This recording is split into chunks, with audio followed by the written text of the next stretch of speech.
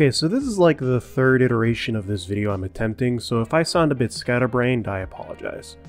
When it comes to the world of 8-scale buggies, there are a lot of options to choose from, even more than 10 scale.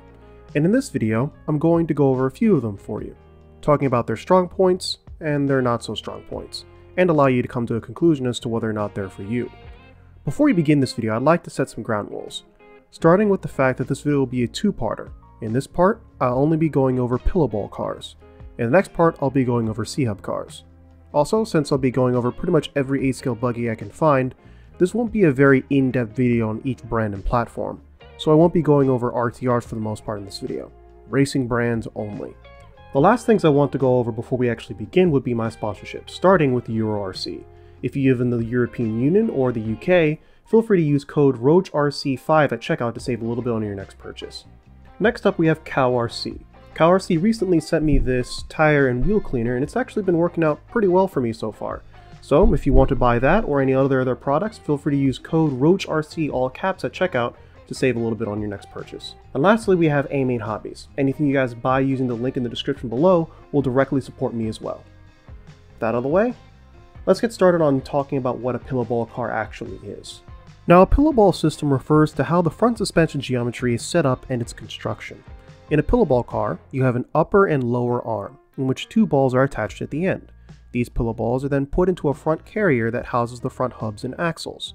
You adjust your camber using spacers instead of the usual turnbuckles, and they tend to be more durable than the other front suspension system I'll go over in the next video. Because of this, and because of the way pillowball cars tend to drive, being more aggressive specifically, more companies have gone the pillowball route for their 8-scale buggies and e-buggies. There are many different pillowball cars out there, so let's get started with probably the most common one in the United States at least, the Team Associated B4 and B4E. Now the B4 and B4E are the latest platform of buggies from Team Associated and they even have truck versions of these two buggies if that's what you're into. Also, they're probably one of the more versatile buggies on the market today, as even the Nitro version has a rear-wheel weight bias chassis and a regular chassis, and there are multiple ways you can mount your batteries for the B4E as well. Now I have a decent amount of driving time of the B4E under my belt, and I must say even though it was a handful from time to time, especially on very bumpy tracks like for example the North Georgia shootout you're seeing on screen right now, it was a very capable buggy that taught me how to drive and tune a pillowball buggy. The only thing that sort of rubbed me the wrong way with this buggy would be the way it sort of skated around under high speed. However, this could be down to my setup, driving style, or even rear wing choice. Now another advantage that the B4 and B4E has over its competition is part support. Associated parts are usually stocked at pretty much any and every hobby shop that has anything to do with racing, and those parts themselves usually don't cost an arm and a leg. Another th good thing about AE is the fact that since it's so popular, there's a plethora of information and tips out there that can help you improve with the buggy, from team drivers being able to help you out, to simple posts on Facebook or Petit RC where you can find setups on pretty much any car you can think of.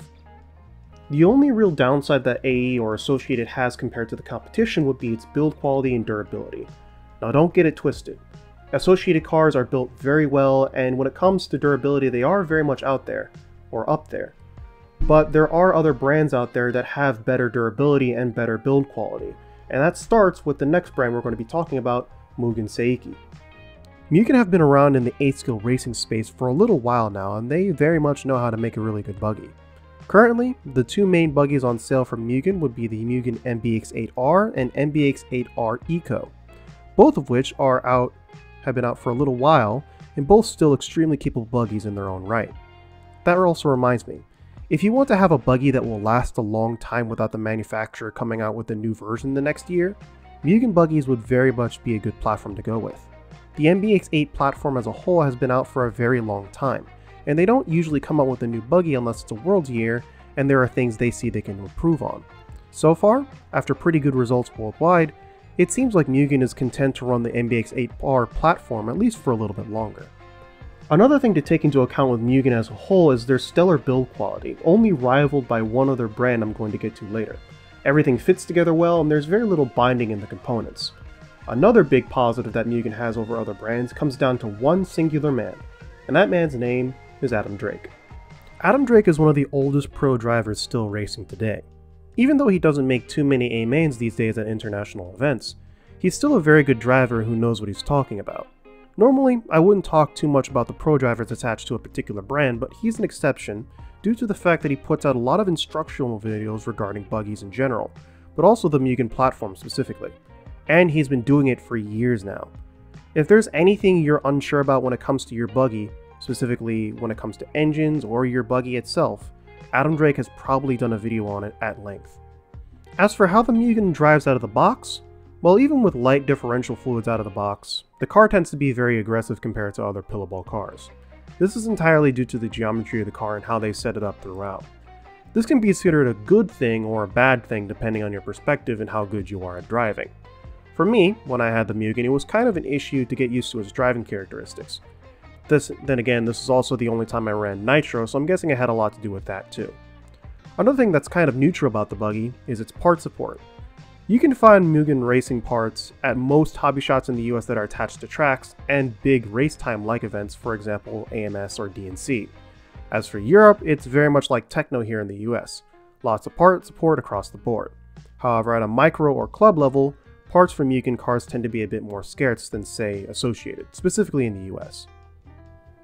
This isn't the biggest negative that Mugen actually has, though. Their biggest negative has more to do with this.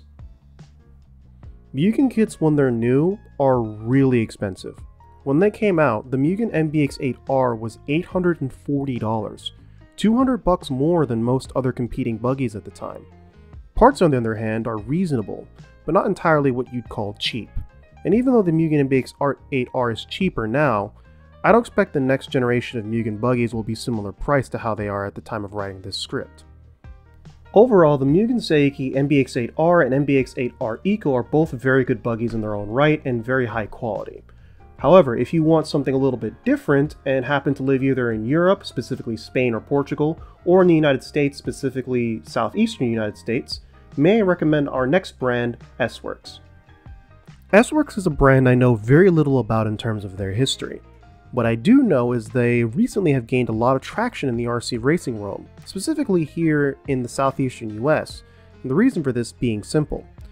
If you're in the US, chances are you have probably heard of Beach RC. They're an RC hobby shop based in Myrtle Beach, South Carolina, and they're primary distributors of SWorkz buggies and parts in the United States. What this means is that if you're either physically close to Beach RC geographically, or you run at a track they tend to visit with their trailer of many things, is that you can find parts for them. As for how available parts are in Europe, you guys are going to have to fill in the gap for that one, because I haven't the slightest clue. What I will say, at least make sort of an educated guess, is that since SWorkz is a European company, I would imagine finding parts for them shouldn't be too difficult there. Current buggies from SWorkz would be the S35-4 and the S35-4E. In terms of price, they tend to be right on par for, if not a bit more expensive than some of the buggies I've mentioned so far, and will mention going forward. As for how they tend to drive, well, they seem to be pretty standard in terms of a pillowball car performs. Aggressive while being driven from the rear, if that makes sense. In terms of their popularity, they seem to be all over the place here in the southeastern US, and have a pretty good following in Europe, so if you're worried about not being supported at a club level, I wouldn't be. Overall, SWorkz is a very good brand if you want something that's very solidly built and well supported at a club level, especially if you live in the southeastern United States or in most parts of Europe. Now for a more luxury feel, may I support X-Ray. X-Ray I have a personal history with, as my first ever racing brand RC car I ever used was an X-Ray T3 touring car. It was a lot of fun, if a bit expensive. And that leads me to my next point. Let's get this out of the way. The kits are expensive, as are the spare parts. I'm talking $16 for a single A-arm expensive. However, what makes up for that expense is their fin finish of everything is pretty good, almost unmatched by any other brand. Not only that, but because the cars and buggies are so well made, they tend to drive very well and can handle a decent amount of punishment. As of the making of this video, the current buggies that X-Ray produces are the 2023 XB8 and XB8E. However, this once again moves us over to the negative about X-Ray that I mentioned before in my two-wheel drive buggy video. See, when it comes to X-Ray and their main flagship buggies and trucks, for example, their XB2 or XB8 buggies, they tend to release revisions and remakes yearly. Now I know not having the most up-to-date equipment for racing isn't necessary, but it is desired for a lot of people. Racers like to have the latest stuff, and to do so with X-Ray is a very expensive endeavor. Not everyone has the funds to or wants to spend $700 on a kit on a, every single year. So having the most of the main cars be released literally every year with sometimes small but sometimes large changes can be very expensive and kind of a deal breaker. Now another thing to understand about the XB8 and XB8E platforms is the fact that they can be run as C-Hub cars as well. However, since most team drivers on their level or pro level tend to run pillow balls anyway, and most of the resources revolve around the pillow ball system, I wouldn't look too far into it. What I did have to look far into was our next brand, WRC. I once heard that WRC was pretty much what JQ Racing was without JQ, and to be honest, that's pretty much the only exposure I had to them for a long while until I did some more research on them for this video. Much like SWorkz, they're a fairly new brand that has done their best to etch their name into the world of competitive RC racing. Unlike SWorkz though, they haven't had as much success, at least here in the United States.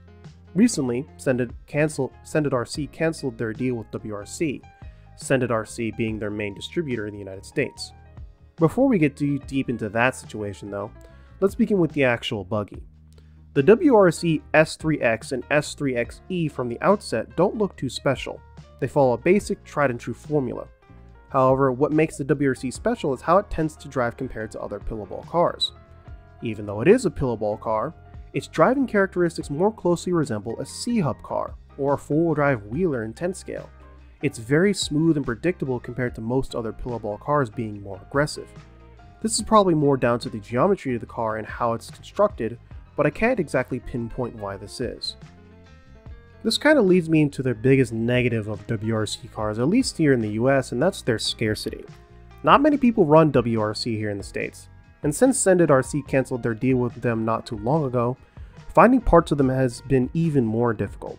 And even though this may be different in, in Europe, it's not too much better. This is partially because WRC doesn't have much of a big pro level presence compared to other brands. Now I'll make my opinion on what I like to call pro fever later in another video, but for now, I will say that because racers tend to want to emulate pro drivers, they will usually never even know about certain brands that may be great options for them otherwise. As a result of this, and the fact that WRC doesn't have too many big pro level drivers on their team, people tend to ignore them altogether, which is a shame because everything that I've seen on this buggy, it seems pretty solid, along with prices being quite reasonable. Now all of these cars I've mentioned up until this point have been kits, cars that you have to build yourself from scratch. However, for a lot of bashers out there, this isn't really a viable option, especially considering how busy we are these days. So if you want a different option, or an RTR, or at least a roller, I'd say go with this next buggy. I know I'm breaking my previous rule of no RTRs, but bear with me for a bit. The TLR Tune Typhon 6S is an RTR race spec buggy that comes with Spektrum electronics. Unlike the TLR 8, it's a pillowball car, and because of this it fits into our list. Even though this buggy isn't the absolute peak of build quality, and because it's an RTR chances the tires aren't going to be the best, but because it's an RTR buggy, and because it's branded as an Arrma Typhon, it suddenly becomes a lot more accessible to people who bash and want to look into racing but don't want to spend hella money on a new kit that they have to build themselves from pieces. All you need to do with the TLR Tune Typhon is put a battery in and go. Another benefit that the Typhon has is the fact that it does have adjustability that you need to make it at least a little bit more how you like to drive. Again, it may not have the adjustment capability of say a race spec MBX8R Eco, but it does work well enough to get your foot in the door. As for part support, well, you'd think that because it's an Arrma, who is owned by Horizon, one of the largest RC distributors in the world, that part support would be good. Well, even though the first two are true, for some reason a good chunk of the parts for this thing seem to be perpetually out of stock. Spoiler for the next video, this is also the case for the 8 buggy as well. So, if you want an easy way to get into RC racing, the TLR Tuned Arrma Typhon 6S is very much a good buggy. Grab a battery, probably some new tires, and have some fun. Now like I said in the beginning of this video, this is the first part of two. So if I didn't mention a buggy that you were looking for in this video, Feel free to check out the next video that I'm going to be putting out very soon, as that will be going over C-Hub buggies.